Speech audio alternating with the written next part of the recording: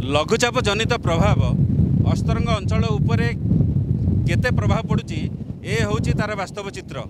ଆପଣମାନେ ଦେଖିପାରୁଥିବେ ଆମେ ରହିଛୁ ସିଧାସଳଖ କେଳୁଣୀ ମୁହାଣ ଉପରେ। ବେଲେଶ୍ୱର ମନ୍ଦିର ନିକଟରେ ଏ ମୁହାଣଟି ପ୍ରବାହିତ ହେଉଛି ସିଧା ପ୍ରାଚୀ କାଦୁଆ ନଦୀକି ସଂଯୋଗ କରୁଛି। ଆପଣମାନେ ଏ ଚିତ୍ର ଦେଖିପାରୁଥିବେ ଲଘୁଚାପର ପ୍ରଭାବ କେତେ ଜୋରରେ ରହିଛି ସମୁଦ୍ର ଏକ ପ୍ରକାର ଅଶାନ୍ତ ରହିଛି ସେ ଯେଉଁ ସମୁଦ୍ର ପାଣି ସିଧାସଳଖ ନଈ ଭିତରେ ପଶୁଛି ଦେଖିପାରୁଥିବେ ପାଖାପାଖି ପାଞ୍ଚ ମିଟରରୁ ଉଚ୍ଚ ଜୁଆର ନଦୀ ଭିତରକୁ ଆସୁଛି। କେତେ ଭୟଙ୍କର ଚିତ୍ର ଆପଣ ଏଇଠି ଦେଖୁଛନ୍ତି। ଆପଣମାନେ ଦେଖିପାରୁଥିବେ ଇଏ ଯେଉଁ ବେଲେଶ୍ୱର ମନ୍ଦିର ନିକଟରେ ଯେଉଁ ବାଲି ସ୍ତୂପକୁ ଏକ ପ୍ରକାର ଧୀରେ ଧୀରେ ଖାଇସାରିଲାଣି ଏଠି ସାଧାରଣ ଜନତା ଅଛନ୍ତି ପଚାରି ବୁଝିବା। କିଭଳି ଭାବେ ପ୍ରଭାବ ରହିଛି କେଳୁଣୀ ମୁହାଣର ପ୍ରଭାବ?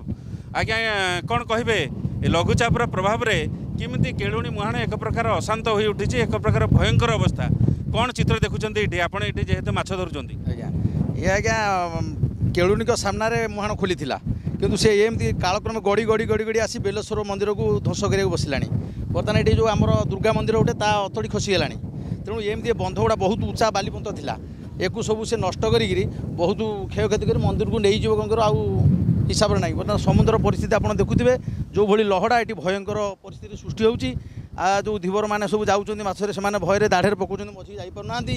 ତେଣୁ ଏଇଭଳି ପରିସ୍ଥିତି ଯଦି କୌଣସି ଲୋକ ଏଇଠୁ ବି ଖସିଗଲା ତେଣୁ ତା'ର ମାନେ ଜୀବନ ଆଉ ପାଇବାର ନାହିଁ। କିନ୍ତୁ ଜୀବିକା ଯେହେତୁ ବଞ୍ଚିବାକୁ ହେଲେ ଟିକେ ତ ଯାହାହେଲେ ପରିଶ୍ରମ କରିବାକୁ ପଡ଼ିବ। ତେଣୁ ଏଥି ନେଇକି ସେମାନେ ଉମ୍, ଜୀବନକୁ ପାଣି ଛଡ଼େଇକିରି କାମ କରୁଛନ୍ତି ଆଉ। ଆଜ୍ଞା। ଆଚ୍ଛା ଏଠି ଜଣେ ବୟସ୍କ ବ୍ୟକ୍ତି ଅଛନ୍ତି। ଆଚ୍ଛା ମଉସା କ'ଣ ଆପଣଙ୍କର ପୂର୍ବରୁ ମୁହାଣ ଅବସ୍ଥା ଥିଲା?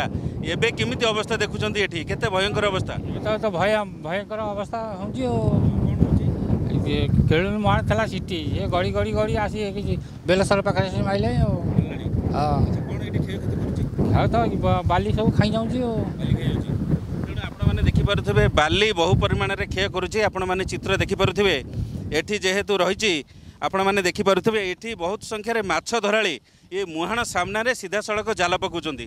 ଆଚ୍ଛା ଭାଇ କ'ଣ ଚିତ୍ର ଦେଖୁଛନ୍ତି ଏଠି? ମୁହାଣ ଅବସ୍ଥା? ତ ମୁହାଣ ଅବସ୍ଥା ଆଜ୍ଞା ବହୁତ ଶୋଚନୀୟ ଅବସ୍ଥା ଅଛି ଭୟଙ୍କର ଅବସ୍ଥା। ମ- ଆମକୁ ଲାଗୁଛି ବହୁତ କମ୍ ଦିନ ଭିତରେ ଏ ମନ୍ଦିରର କ୍ଷୟକ୍ଷତି ହେଇପାରେ।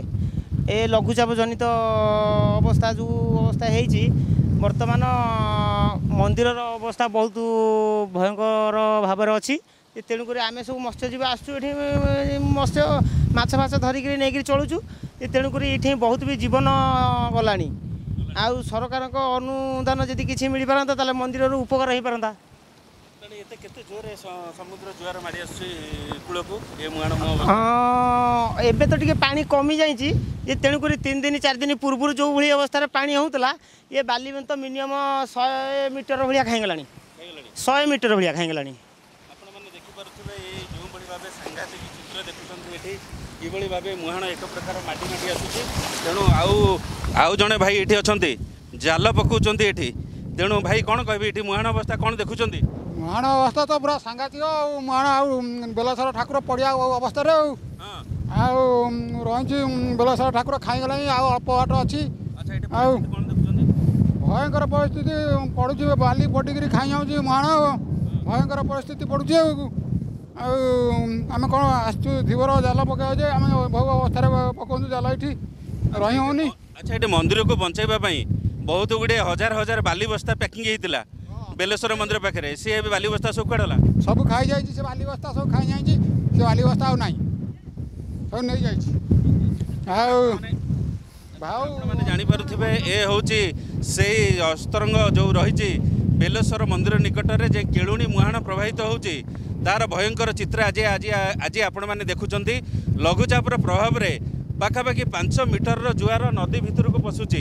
ତାର ସିଧାସଳଖ ପ୍ରଭାବ କେଳୁଣୀ ମୁହାଣର ସିଧାସଳଖ ପ୍ରଭାବ ବେଲେଶ୍ୱର ମନ୍ଦିର ଉପରେ ପଡ଼ୁଛି। ଆପଣମାନେ ଜାଣିପାରୁଥିବେ ଏ ଯେଉଁ ବେଲେଶ୍ୱର ମନ୍ଦିର ପଛରେ ଯେ ଦୁର୍ଗା ମନ୍ଦିର ରହିଛି ସେ ଦୁର୍ଗା ମନ୍ଦିର ଉପରେ ସିଧାସଳଖ ସମୁଦ୍ର ଜୁଆର ମାଡ଼ ହେଉଛି ଯାହାଫଳରେ ଗୋଟେ ବଡ଼ ଧରଣର ବିପଦ ବେଲେଶ୍ୱର ଏବଂ ଦୁର୍ଗା ମନ୍ଦିର ଉପରକୁ ମାଡ଼ି ଆସିଛି। ତେଣୁ ଏଠି ପ୍ରଶାସନ ଇଏ ଚିତ୍ରକୁ ଦେଖି ସାରିଲା ପରେ କି ପ୍ରକାର ପ୍ରଶାସନ ଏଠି ଦେଖି ସାରିଲା ପରେ କି ପ୍ରକାର ପଦକ୍ଷେପ ଗ୍ରହଣ କରୁଛନ୍ତି ଏ ମନ୍ଦିରକୁ ବଞ୍ଚାଇବା ପାଇଁ ତାହା ଉପରେ ରହିଛି ସମଗ୍ର ଅସ୍ତରଙ୍ଗବାସୀଙ୍କ ନଜର। ଅସ୍ତରଙ୍ଗ ନିକଟସ୍ଥ ବେଲେଶ୍ୱର ମନ୍ଦିର ନିକଟରୁ ମୁଁ ନିରଞ୍ଜନ ଦାସ କନକ ନ୍ୟୁଜ୍।